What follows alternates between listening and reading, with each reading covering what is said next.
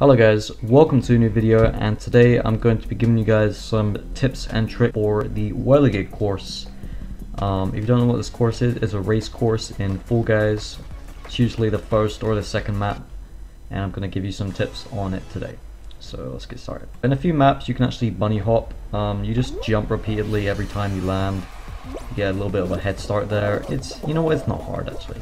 Um, you just want to avoid these these spinning things. I don't know what you want to call them. Just avoid those. Now what you can do here is you can get a speed boost when you're jumping up here. So you just use that uh, conveyor belt to, you know, go up there and it gives you a little bit of a speed boost. When we're coming up to here, um, you can take your time if you want because if you get hit by this then that's going to be quite annoying. Now at this part, you know, there's three paths. You can go left or right or middle. If you want to go middle, which is the fastest way by the way, you want to be at like the left side.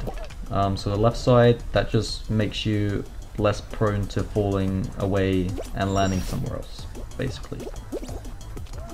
Now, at this last part, you just want to take your time, honestly. You don't really want to rush it. Just take your time and uh, move your camera around. You know, watch out for the spinning thing. And then easy qual. Thanks for watching. Um, if you guys enjoyed this video, like and subscribe, and I will see you guys in the next video. Goodbye.